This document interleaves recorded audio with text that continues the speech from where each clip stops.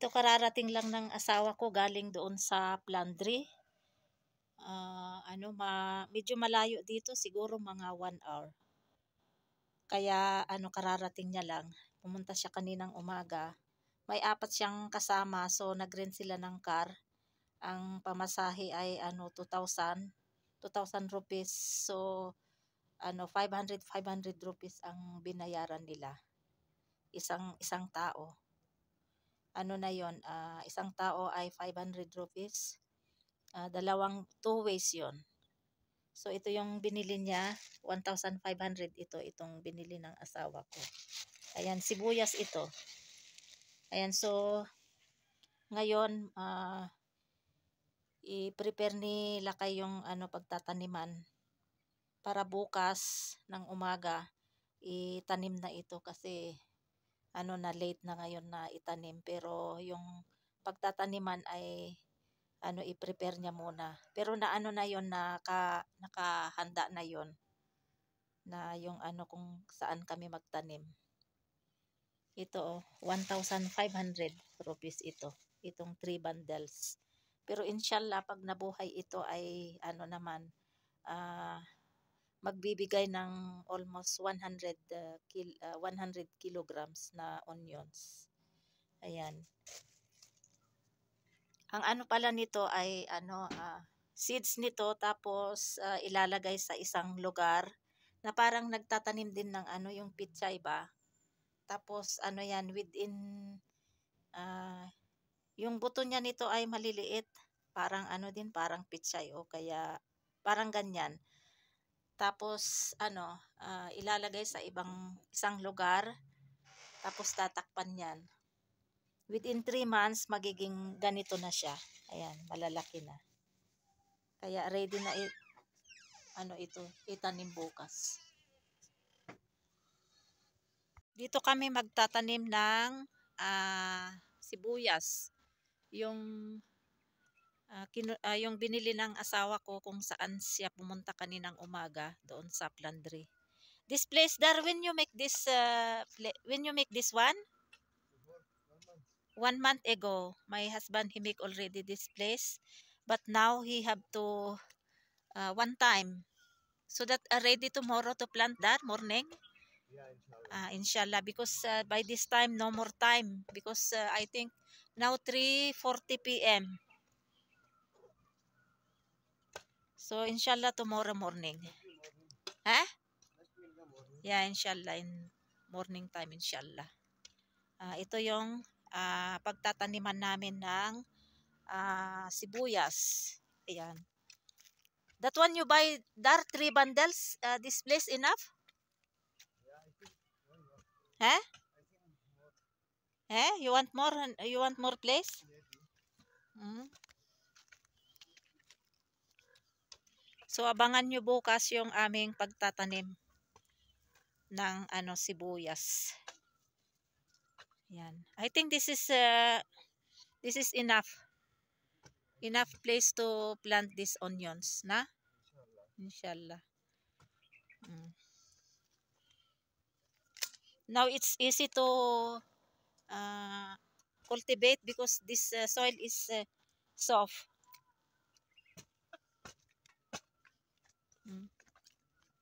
Yan.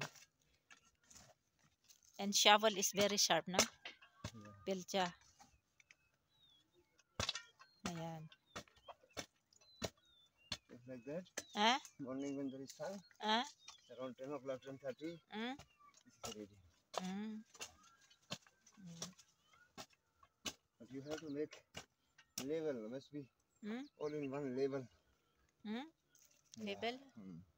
Yes. Ayan o. Oh.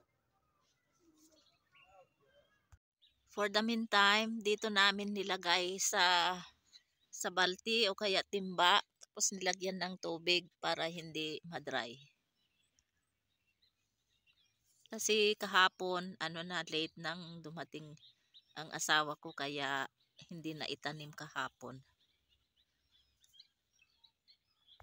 Ito na ready na na ano na taniman Ayan yung soil, yung lupa ay pinong-pino na. Ayan.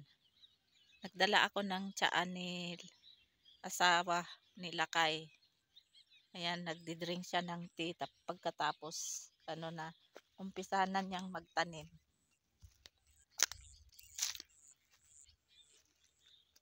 But there is too much sun, no, Dar? Maybe can be dry? No, no, no. It is good to plant in sun.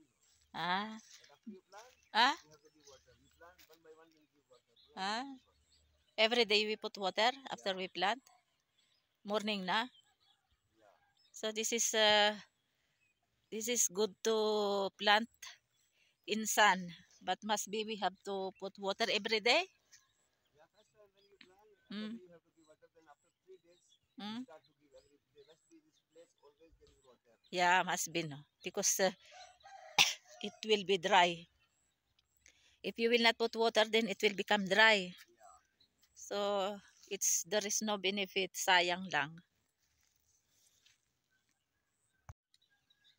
Now one time to uh, make place using for this one. What you call this one? Dar In my language, Dandali. Dandali in uh, in their language here. Dandali. Yan. And in uh, I don't know what you call this in English. Yung parang panghalo sa palay. Kung sa Ilocano, we call that in Ilocano is but I don't know Eric, Eric, Eric. This one, oh, this one. I don't know this is uh, in English. It's like an axe. Yan, oh, may ngipin-ngipin. Ayan, ginaganyan ng asawa ko para one time, then ano na, ready to plant na yung onion. ano pala yung, itong onion pala, ano, ah, this uh, onion dar, we can get uh, seeds from flowers. Yeah, yeah. Yeah, then from flowers to, uh, fr- from flowers to seeds, then uh, seeds to uh, already to plant like this. But these uh, seeds must be we have to keep in one place. It's like you are uh, planting this uh, uh, eggplant, tomatoes, tomato seeds, eggplant uh, seeds, this uh, pichay seeds like that. We have to put in one place and then we cover. And then wait for uh, three months there. This uh, one onions. And then it will become big like this. Three months only this one there? For March, you can use. Huh? From March, Uh, you can use. so this one, it, this is already the result from uh, flowers to seeds and seeds to like this. Within three months, you keep in the in soil. Yan. Kung sa Ilocano, ang tawag ay yung seeds ay imurumor. Imurumor na dito sa lupa.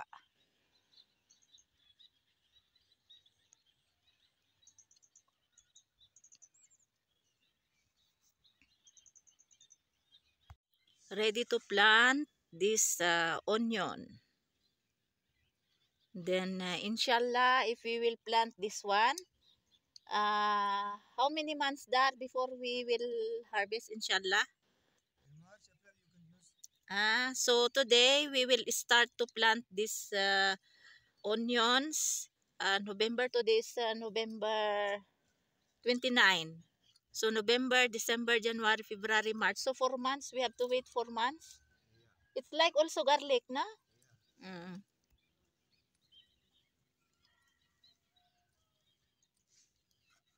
Ayan, ito yung onions. Ayan.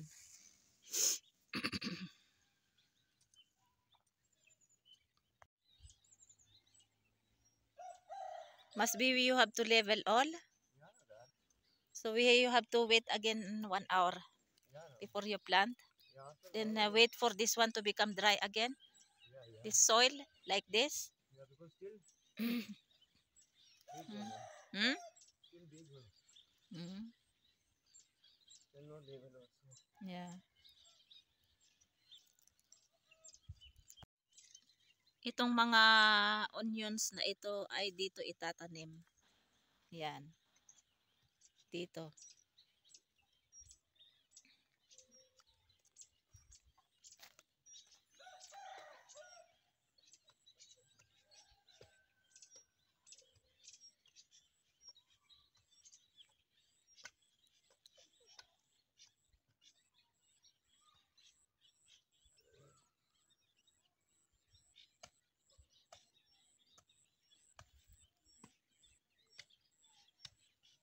Very nice weather today.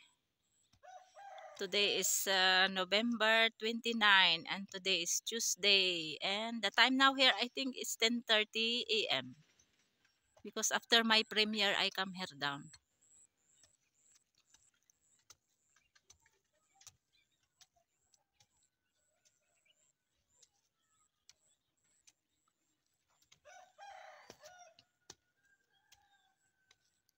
So we will plant this uh, onions here and here this all garlics, G1 garlics.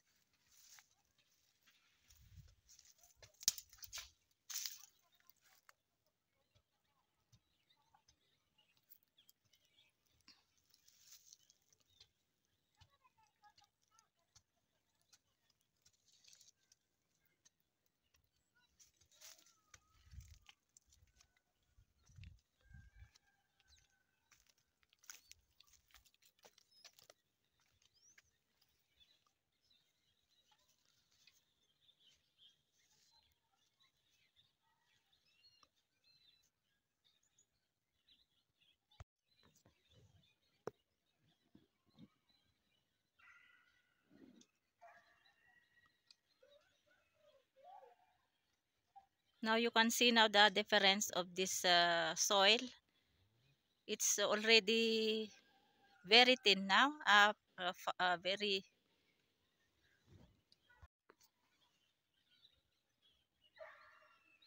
Nakikita nyo yung diferensya?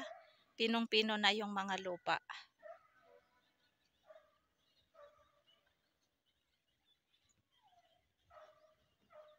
Well, my friend Arif is not calling you.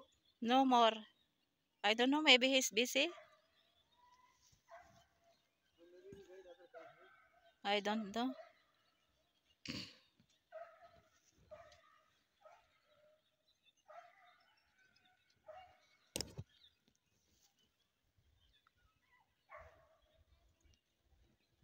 You see the uh, sounds of chirping of birds?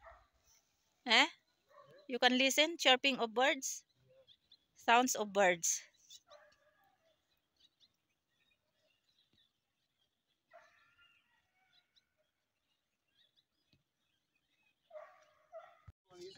Ayan, ready na ang taniman. After one hour, bumalik ako ulit dito sa baba. Ayan, pinong-pino na talaga, oh. So, ano, ready na na magtanim kami.